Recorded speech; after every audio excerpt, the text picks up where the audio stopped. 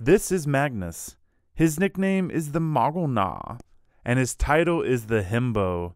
He's the biggest, toughest, and most handsome Malinois to ever live, which is definitely true. His job description is taking care of Thang's whims, but forever being friend zoned. Last is the future matriarch of modern Malinois, Alexandra. Her nickname is the Thang because she is a wild girl, and her title is the ultimate puppy. She's a once in a generation dog possessing extreme drive, unparalleled intelligence, and rock solid nerve, all with the temperament that allows her to fit into any situation. She will produce the next generation of top tier Malinois.